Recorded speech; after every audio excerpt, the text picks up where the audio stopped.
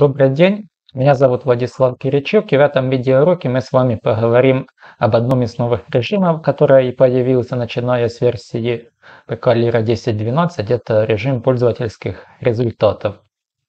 Давайте вкратце разберемся, для чего они нужны. Если, к примеру, в Лире мы уже имеем какие-то результаты по узлам, по стержням, по, по но этих результатов нам не достаточно, однако мы можем какие-то нам нужные значения получить, если мы эти значения используем в своих формулах дополнительных, и затем э, покажем на э, мозаику, то это уже будет какие-то новые величины. И вот э, для создания таких, собственно, мозаик по своим формулам, исходя из уже имеющих Э, результатов мы будем строить свои мозаики. Давайте вкратце разберемся, как это работает в программе. На примере я открою одну из моделей. Перейду затем результаты расчета, специальные результаты. И вот здесь этот режим у нас имеется. Здесь есть какие-то скрипты. Если вы программу используете э, с этими скриптами в первый раз, то у вас здесь будет пустое место, и вам эти скрипты э, следует будет уже писать самим. Ну, там скрипты могут быть э, любые. Написаны они на языке C-Sharp.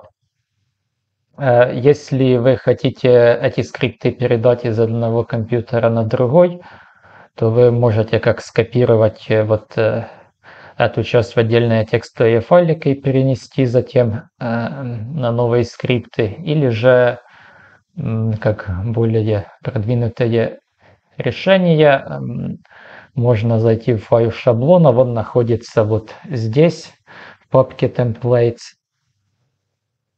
Давайте я попробую сюда перейти. И вот здесь имеется файлик scale user data xml. И вот в этом файле все эти скрипты хранятся. То есть этот файл можно между компьютерами передавать. Если вы, к примеру, хотите все начать с чистого листа, как я сейчас перед вами сделаю, то я просто переименую этот файл на другой. То есть Лира уже его видеть не будет. И при повторном открытии программы Если я сейчас зайду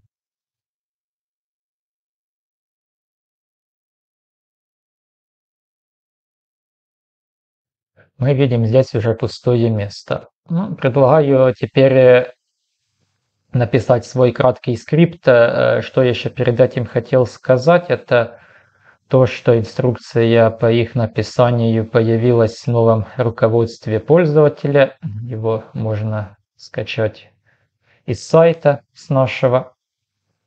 Вот название Пекалера 10.12 инструкция для пользователя. И конкретно для пользовательских результатов нам нужно перейти в главу 3. Вот есть пункт 3.9 пользовательские результаты. Здесь по ним сделана инструкция, которой в принципе достаточно для того, чтобы уже какие-то простенькие вещи писать.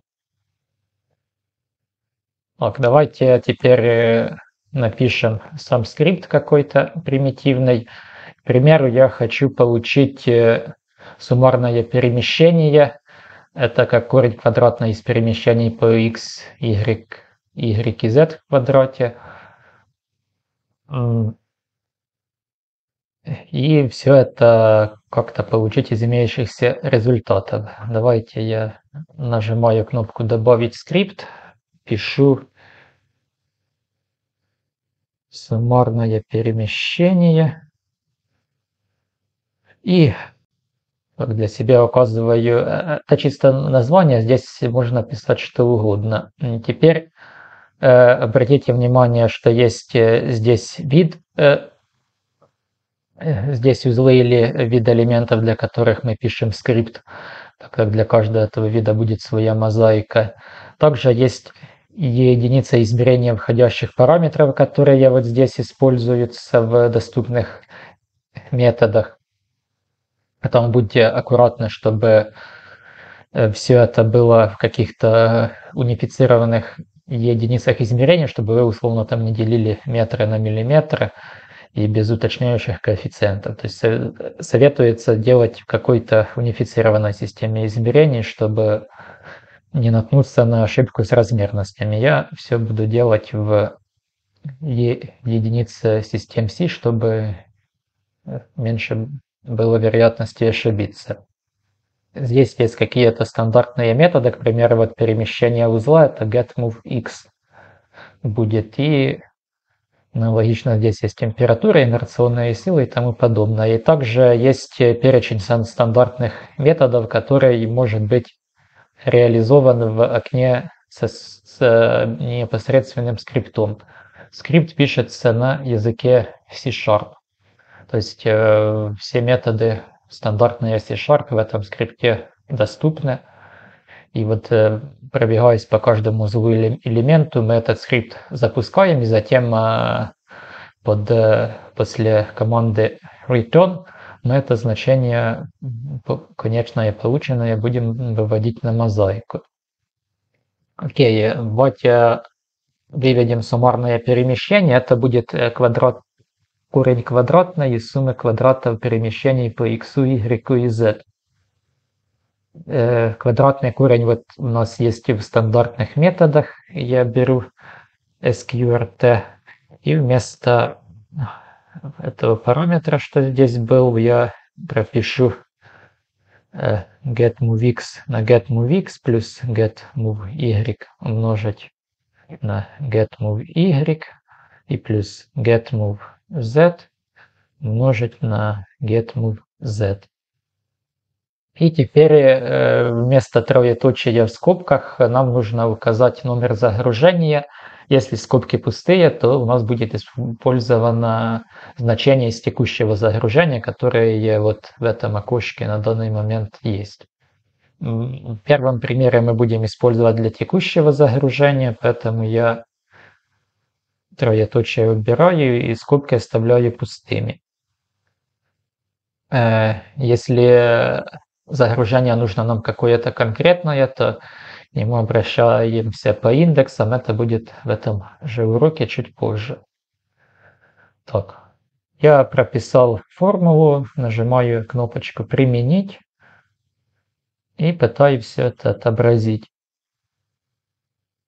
Если скрипт будет работать долго, долго то не пугайтесь, он, э, в принципе, моментально не всегда может сработать, так как при его обработке нужно прочитать очень много таблиц, и это какое-то время займет. Ну, в итоге вы свою мозаику получите. Если скрипт, конечно, сделан без каких-то критических ошибок. Так, скрипт у нас отобразился.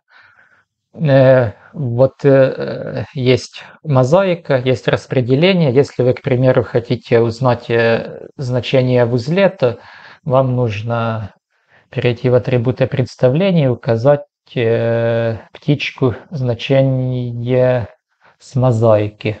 Если это узлы, то с мозаикой узлы я вот на, нажимаю и будет уже конкретное значение на мозаике.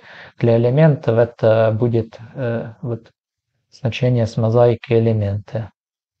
У нас скрипт для узлов, поэтому элементы пока на элементы не смотрим. Вот получились ли такое значение. У нас в лире суммарное перемещение есть. К примеру, если я на него кликну, то и изменю единицу соизмерения на си, то вижу, что значение то же самое, что было в пользовательских результатах. То значение по формуле там и здесь стандартное, оно совпадает. Ну, в данном случае это значение было уже реализовано, но можно также, понятно, в скрипте делать какие-то вещи, которые еще здесь не реализованы в стандартных мозаиках. Давайте к такому методу придем и сделаем еще один скрипт. В этом скрипте я хочу посмотреть для задачи динамики, какое максимальное перемещение в каждом из узле было на протяжении всего расчета, на протяжении всех моментов времени. Да. Давай напишем.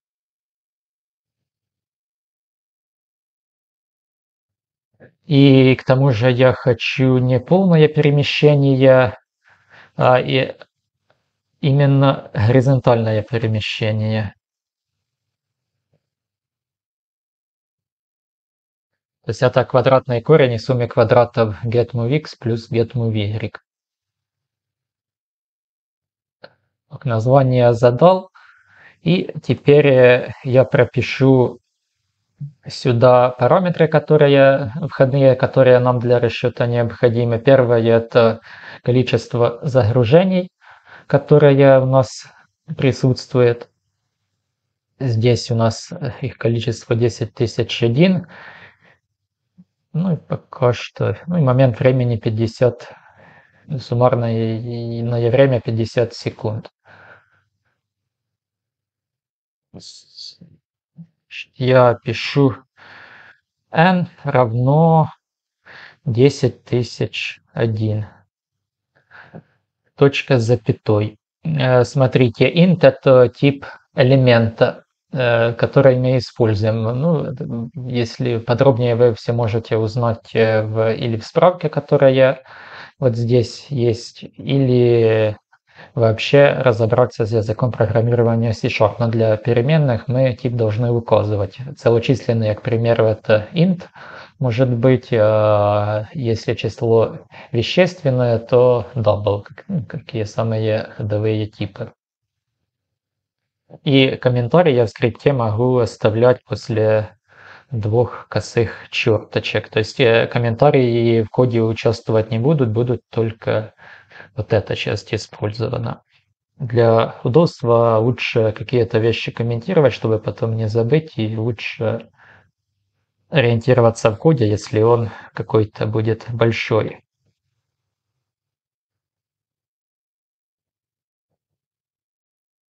Этот параметр я ввел, э, и, и теперь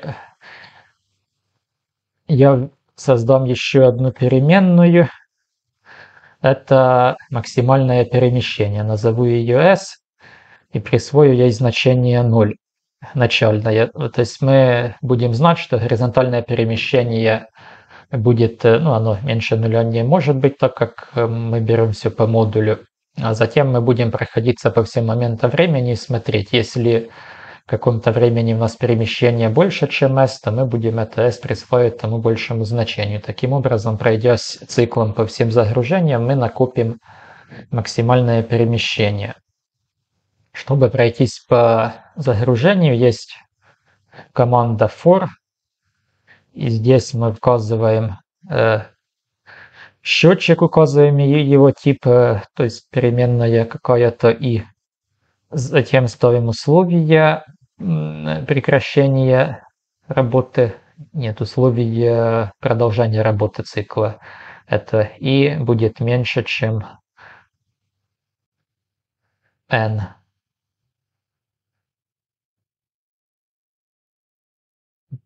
Так, давайте даже и будет у нас от 1 к и, и меньше равно n. Так, и, и, и затем пишется команда, которая будет сделана после каждого цикла. Ну, можем прописать и, и плюс плюс это означает, и, э, что счетчики будем каждый раз увеличиваться на 1. Затем открываем э, место в виде фигурных скобок, это будет цел, тело цикла и вводим как теперь э, переменную с новым типом double и она будет равна квадратный корень из суммы квадратов перемещений по x и по y.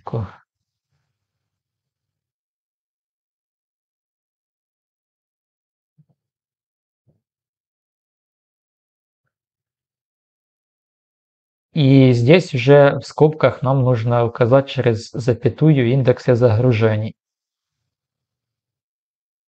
Давайте немножко разберемся, как индексы загружения формируются. Они есть в нашей справке, как их делать. Э, вот есть, э, то есть э, через запятую вводится три числа. Первое число вот это номер загружения или номер истории загружения или номер расчетного сочетания нагрузок. Второе число это номер сопутствующего загружения. Если его нет, то мы будем писать 0. И третье число это или номер формы, или номер шага в нелинейном загружении, или номер момента времени в динамике плюс. И вот здесь э, также есть рисунок 3.72. И здесь указаны примеры, вот как мы в Лире смотрим на нашу таблицу загружения и какие индексы им, им в тем или иных случаях давать.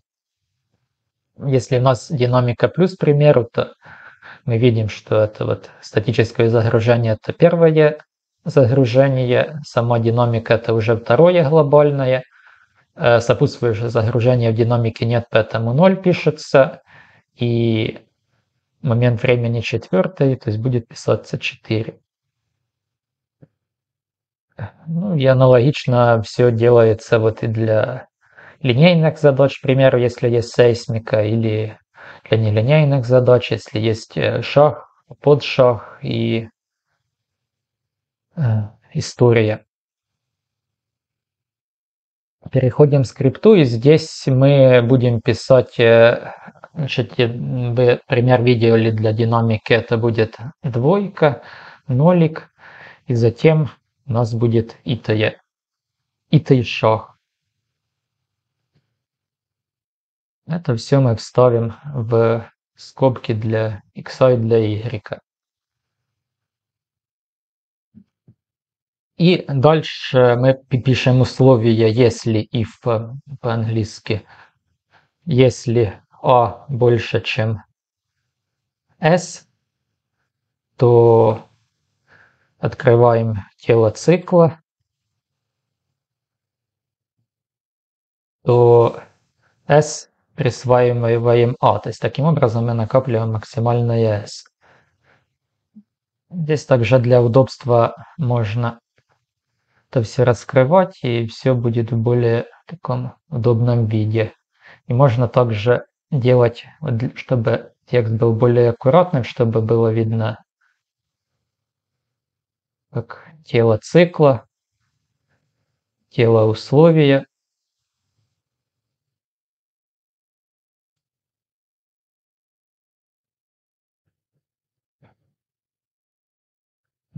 и тому подобное. Так, и э, в конце нам нужно отобразить параметр s, то есть тот, что накопился в самом конце. Применить. Отобразить.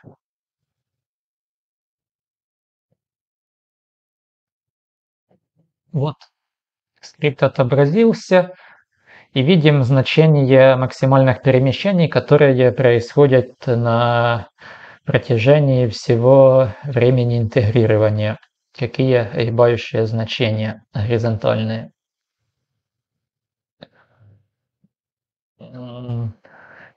Также вот давайте сделаем еще один скрипт. Я здесь назову его э, критическое время.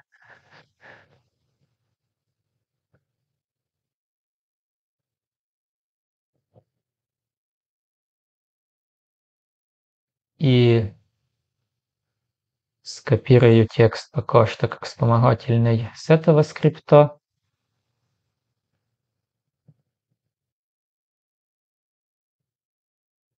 И что я здесь хочу? Я хочу найти момент времени, в котором, при котором это максимальное перемещение возникает. То есть здесь, кроме момента времени, я хочу ввести а, параметр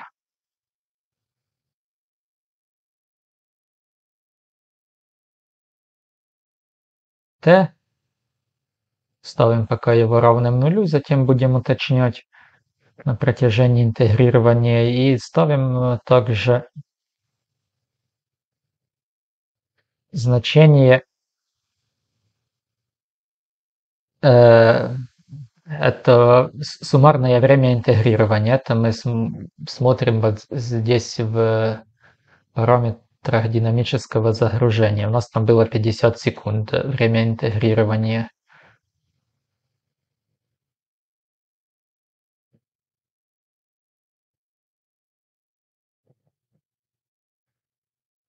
И здесь мы будем писать, если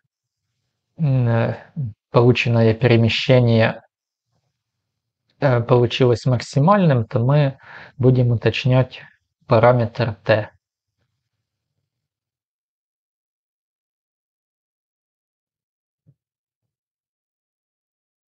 Это у нас будет i умножить на t и разделить на n количество загружений. То есть понятно. И вместо return s мы пишем return t. Вот это как раз это время, которое накоплено. Применить. Отобразить.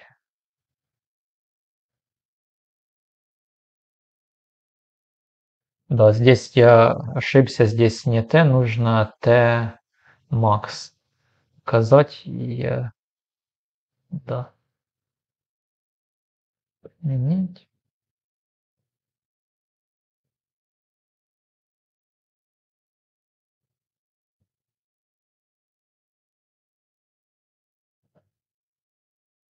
и есть.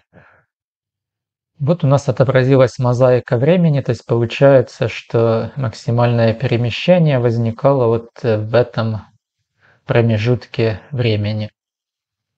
Если у нас время 50 секунд всего было вот здесь, то самое интересное с точки зрения горизонтальных перемещений происходило именно до четвертой секунды с, этой, с остатком. Так, с узлами мы немножко разобрались. Давайте теперь перейдем к более сложным скриптам. Еще я хотел показать пример. Это э, определение коэффициента запаса при сейсмике. Давайте немножко я пару слов скажу, о чем идет речь. Значит, мы к этому теплообменнику имеем то, что он нагружен внутренним давлением, а также собственным весом, а также к нему подсоединены трубопроводы которые при сейсмике могут давать какие-то реакции на патрубки. Из-за этого в теплообменнике будут возникать сейсмические напряжения. Вот э, вид сейсмического воздействия у нас есть, внутреннее давление есть. Э, и граничное напряжение у нас для основы 300 мегапаскаля и для патрубков 320 мегапаскаля. То есть это предельно эквивалентное напряжение по мизосу, которое может воспринять теплообменник. И наша задача сейчас узнать, э, во сколько раз мы, ну то есть мы получим какие-то напряжения от сейсмики, и потом узнать, во сколько раз эти сейсмические нагрузки могут еще возрасти, чтобы теплообменник их выдержал. И найти вот это распределение этого коэффициента запаса по теплообменнику. Вот если все так э, в очень простом виде рассмотреть, это мы от э, приведенных напряжений отнимаем со статические напряжения и делим это все на сейсмические напряжения. Вот э, поэтому описание этой формулы у нас компонентна дельта CS и D, вот это SAM равно нулю. Вот поэтому так и выходит, э, то есть предельная минус статика, разделенная на сейсмику. Э, если в тензорном виде рассматривать, то у нас эквивалентные напряжения по мизосу не должны дойти до предельных. Если у нас тензор напряжений рассматривать как сумму статического и сейсмического, то мы вот приходим к такому виду уравнения напряжений по мизосу, где сигма x это статическое напряжение по x, а k умножить на сигма сейсмика x это некий коэффициент запаса, который нам нужно найти, умножить на тензор напряжений по x для сейсмической составляющей. И когда я это все немножко э, упростил и разнес по скобкам и сделал ряд замен, то мы приводим к уравнению вида вот а умножить на k квадрат плюс b на k плюс c равно нулю, где а, b и c вот коэффициенты, которые находятся через компоненты тензора напряжения и статических и сейсмических составляющих. То есть это у нас получается квадратное уравнение, и нам нужно найти его корни. И вот это все мы постараемся сделать через э, пользовательские результаты, через скрипты. Еще тут обратите небольшое внимание, я привел э, в пользовательских скриптах э, у нас нет компонент напряжений по слоям в исходных данных для скриптов, поэтому мы их выразим через усилия, то есть это тоже возможно сделать. Так, я это перенесу пока сюда и попробую открыть задачу с теплообменником.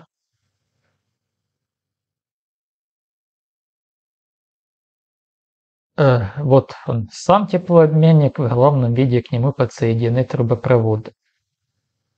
Ну, нам пока интересен он сам, то, что мы будем на нем видеть.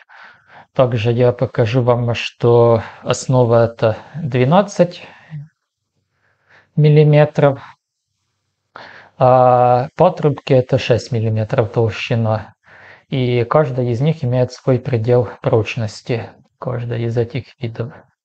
Зайду также в загружение, покажу, что на теплообменник задан собственный вес, внутреннее давление и три компоненты по сейсмике по 41 модулю. Все это взято из акселевограммы L-центра Э, с демпфированием 5%, коэффициент к спектру 0,25 берется, вот как было в условиях задачи.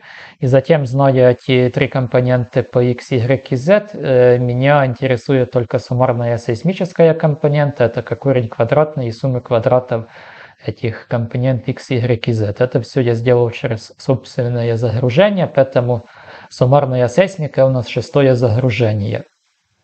Перейдем теперь к сочетанию. Это я для интереса создал статика э, с плюс сейсмика с плюсами, статика минус плюс, ну или минус сейсмика, так как сейсмика она равновероятна как на проявлении плюс, так и минус. А здесь я задал только, сейсми, только статическое усилие. Поэтому мы когда ищем статическое напряжение, мы смотрим на третий РСН. Когда ищем суммарную сейсмику, смотрим на шестое загружение. Окей, с этим вроде разобрались. Переходим в результаты расчета. И переходим в пользовательские результаты. Будем пытаться сейчас написать скрипт, который нам выведет коэффициент k для каждого элемента теплообменника. Нажимаю «Добавить скрипт», называю его «Коэффициент запаса».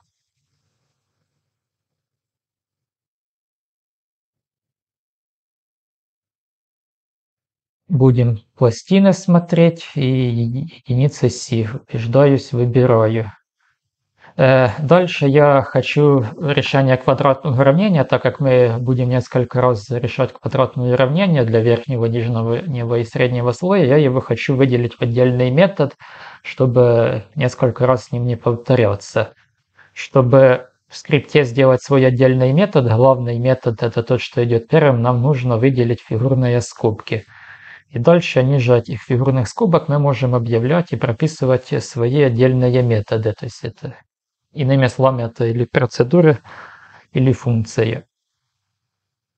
Мы наш метод назовем, э, он будет возвращать значение типа double, и назовем его, к примеру, solve, типа как решатель solve И параметры его будут, э, если мы перейдем вот на это тупы, то есть это будут компоненты тензора статических и сейсмических загружений.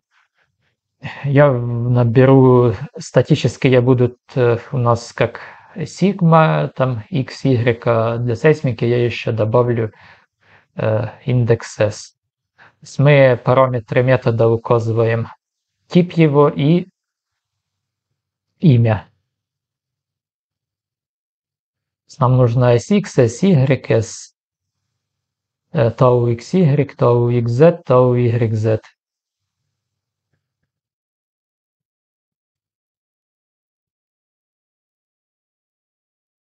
И для сейсмики у нас будут э, почти такие же обозначения, только мы добавим к ним индекс S. Также, если к уравнению мы перейдем, то здесь еще есть сигма эквивалентного, и его тоже нужно внести в параметр этого метода. Я это все задал и открываю фигурные скобки, это будет само тело метода. Э, теперь нам нужно прописать, давайте я пока что временно этот скрипт сохраню, чтобы нам было удобнее писать, я могу вот таким образом сделать. И теперь я могу прямо с этого места удобнее мне переписать будет э, выражение для А, Б и С.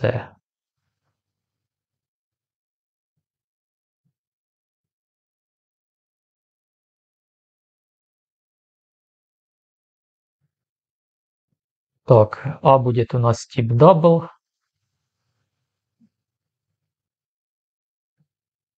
И это все теперь монотонно будем вводить эти формулы.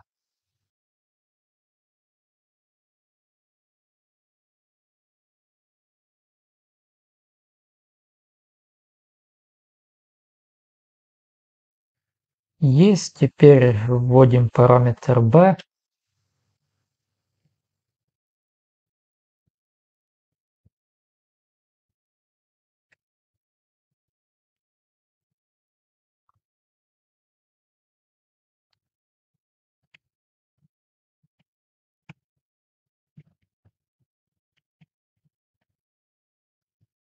и параметр c.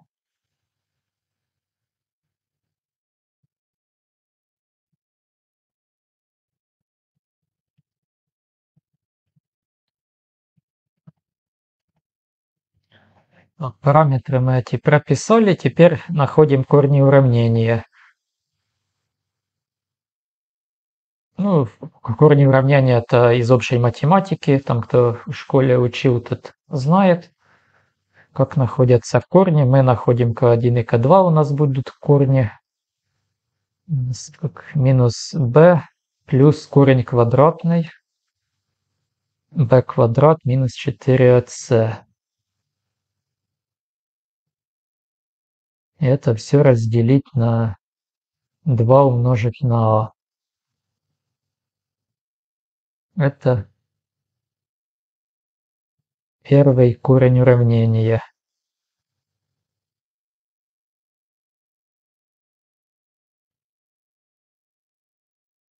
А второй корень уравнения у нас будет почти такой же, только здесь будет знак минус.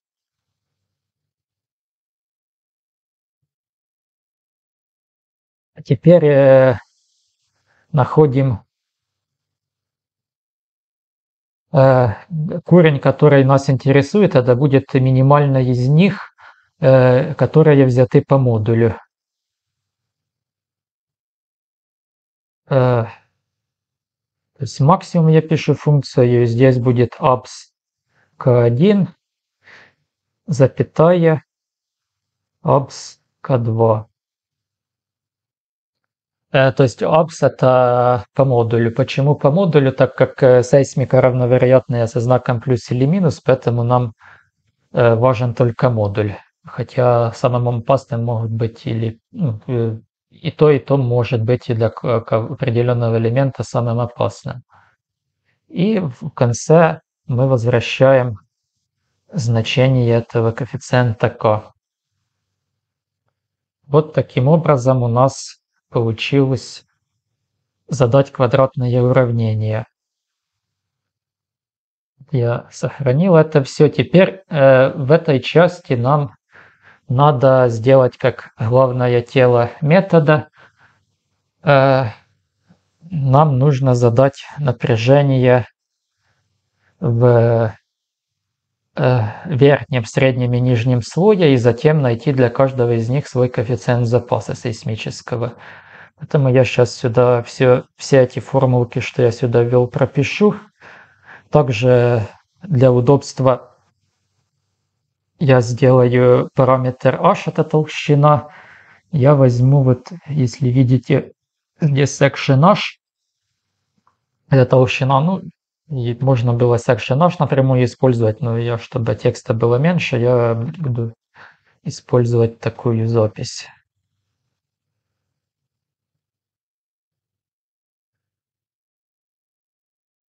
И теперь э, будем постепенно писать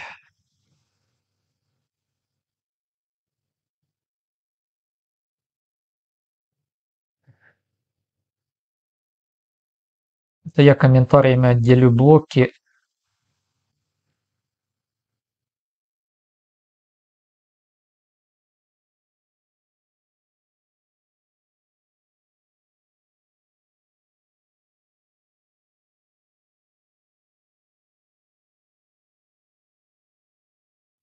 И буду здесь аккуратно писать, э, задаем тип, и пишем, пишем sx и индекс топ, то есть э, топ это верхний, если с английского переводить, равно э, get nx rsn. У нас, э, помним, э, статика это было третий rsn. Поэтому мы задаем сюда коэффициенты 3, 0, 0. И минус было 6 умножить на get mxrsn 3, 0, 0 и разделить это все на h в квадрате. Делить на h умножить на h. Вот такие напряжения по вдоль x, вдоль y. Почти то же самое, только индексы y ставим. Для тау xy. А берем get tau xy rsn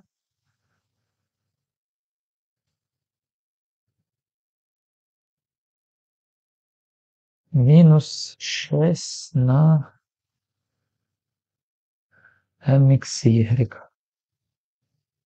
rsn и разделить наш квадрат.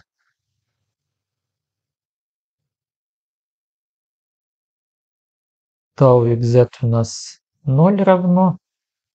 Индекс тут не забываем писать.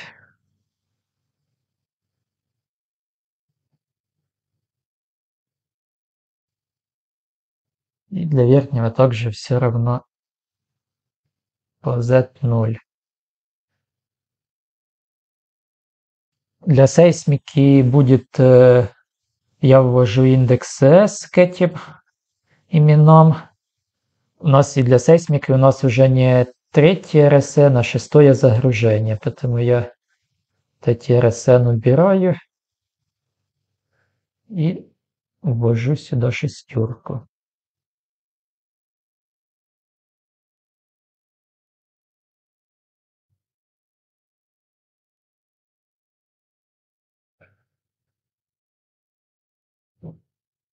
Так, пока что есть. Затем среднее делаем.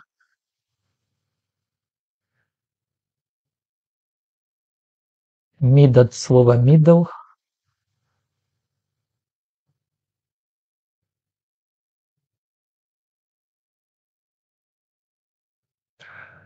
Здесь для средних у нас изгибающая составляющая уходит.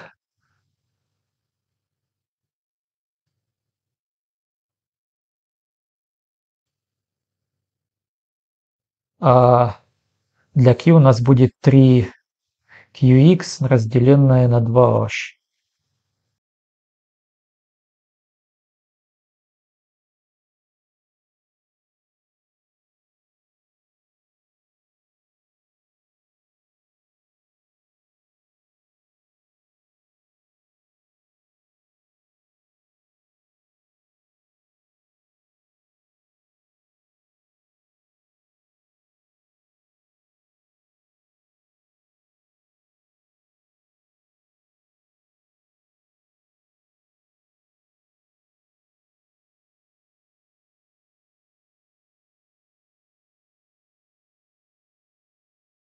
Так, напряжение мы вроде задали. Теперь находим непосредственно коэффициенты использования для верхнего, нижнего и среднего слоя.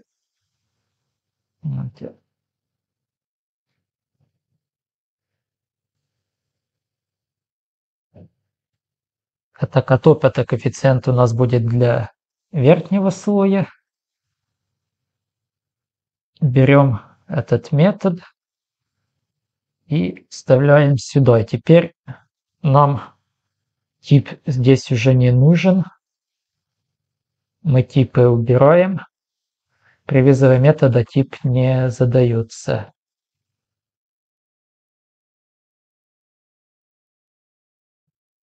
Так, а вот здесь я не дописал тип. Э, так. И индексы указываем.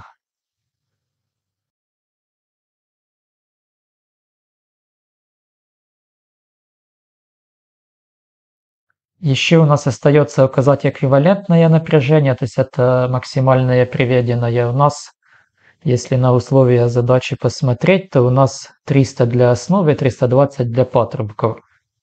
Давайте я сохраню скрипт, немножко покажу. А вот первое сечение это пластина было, первое это, первое это основа, а второе это пластина. Это, второе это патрубок, извиняюсь. А, И чтобы это учесть, я могу прописать э, для общего пишу 300 Е6, то есть это 300 мегапаскаль, это 300 на 10 э, в шестой степени умножить. Это предельное напряжение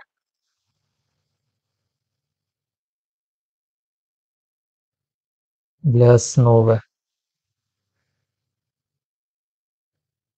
И также прописываем, если section number это номер сечения равно 2, это два раза я равно ставлю, то S эквивалентное будет равно 320 на 10 в 6.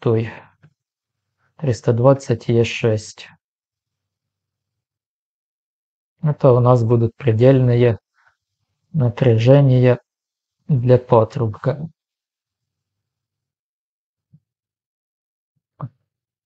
Вот таким образом мы задали. Теперь задаем также к среднее, mid, middle. Я сюда даже назову это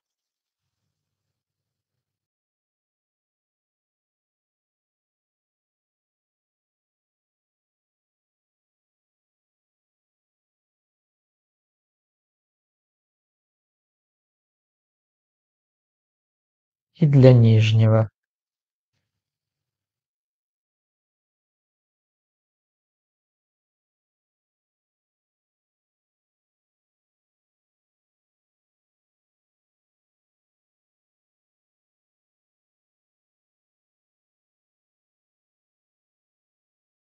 И выводим теперь, э, нам нужно на мозаику вывести минимум из этих всех трех величин.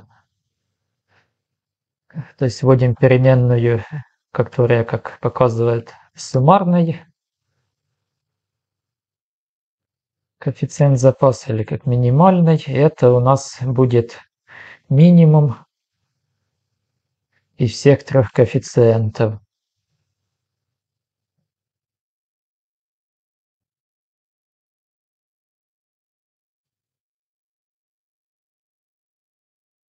Вот таким вот образом. И на мозаику выводим коэффициент К. Ну, вроде как все сделали, пробуем отображать скрипт.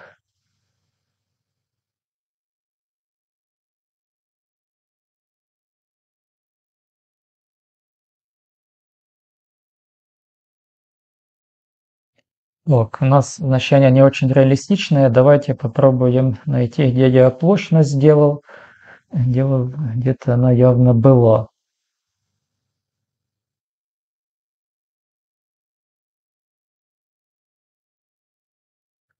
Вот здесь я допустил небольшую ошибку. Нам нужно брать не максимум, а минимум.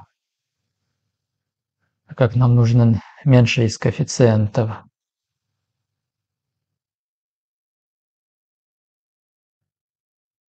Применить, отобразить.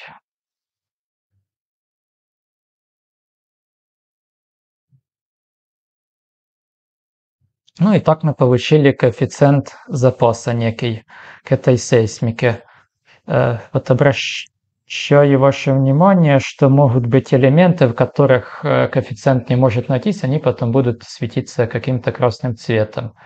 Поэтому вот если я отображу значение,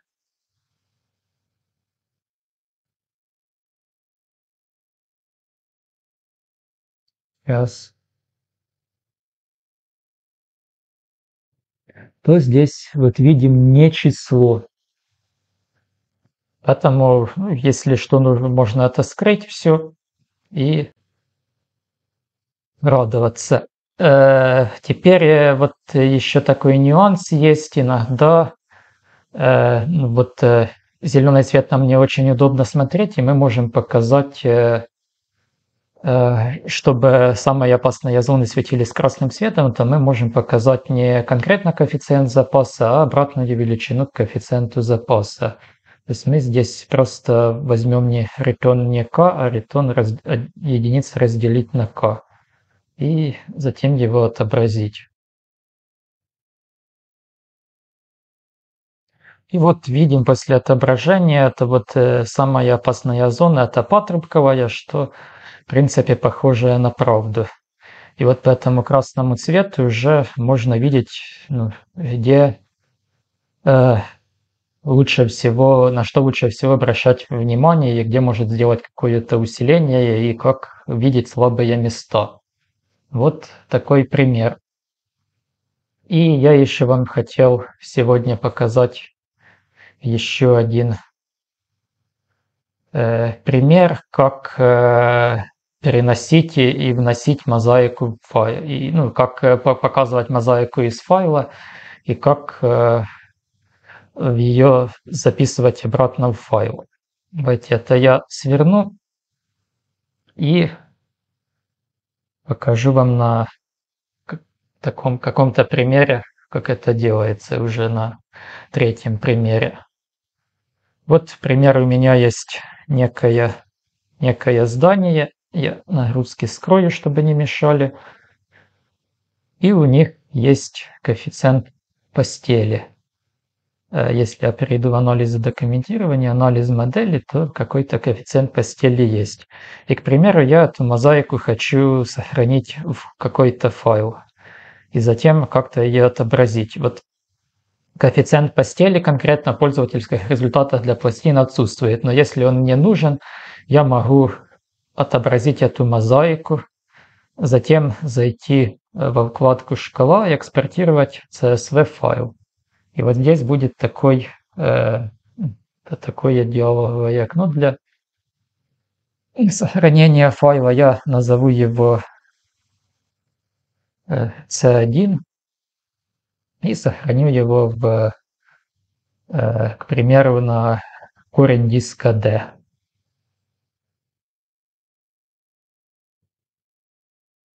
Сохранить. Открывать документ пока не будем.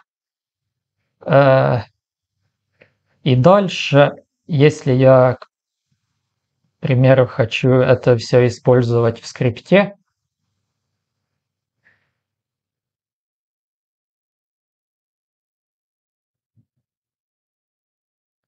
я задачу посчитаю. Сейчас зайду в пользовательские результаты.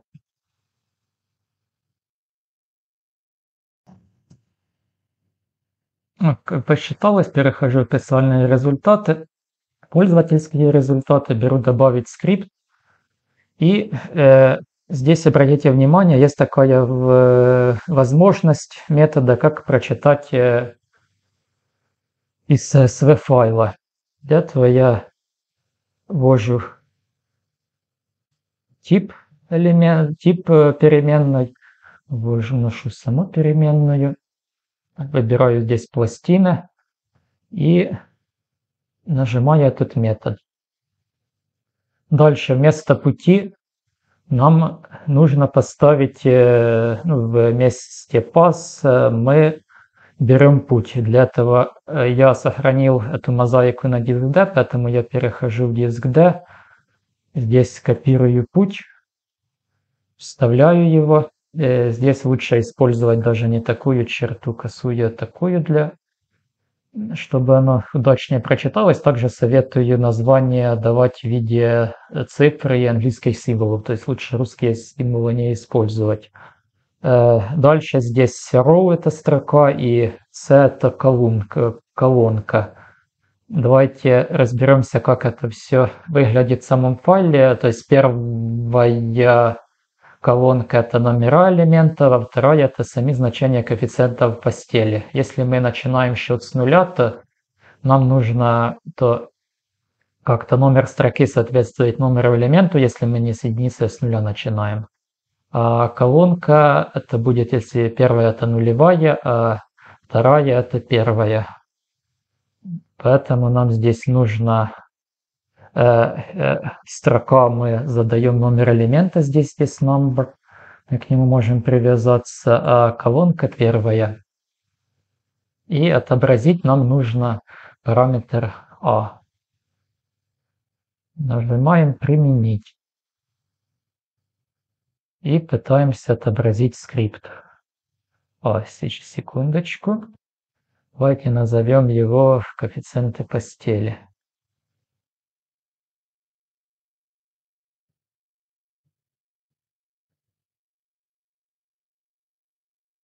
Отобразить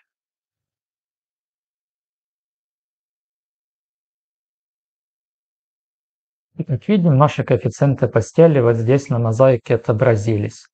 Ну, также, естественно, мы можем эти все значения менять. Например, мы можем э, там, писать там не А, там АА плюс 6, ну, к примеру.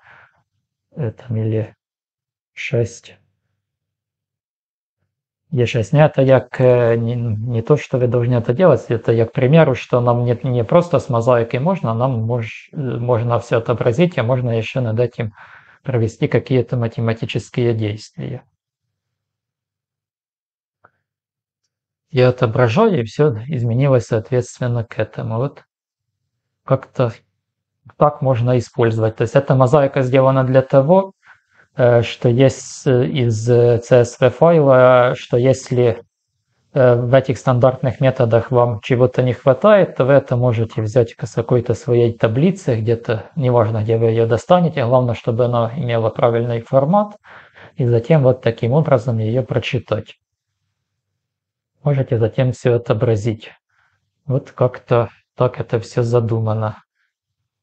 Здесь также вот есть э, скрипты, э, чтобы графики строить. Это можете сами попробовать э, самостоятельно, как кривые исторезиса, к примеру, отображать. Все вроде бы интуитивно понятно. В справке можете вот в этой все это найти. И также есть э, у нас возможность строить какие-то графики по набору элементов, исходя из созданных пользовательских результатов. К примеру, я могу выбрать какой-то набор элементов и отобразить это изменение постели вдоль оси Y. Потому, то есть я буду по оси X координату Y откладывать, а здесь беру коэффициенты постели и отобразить, и у нас будет вот какой-то такой график.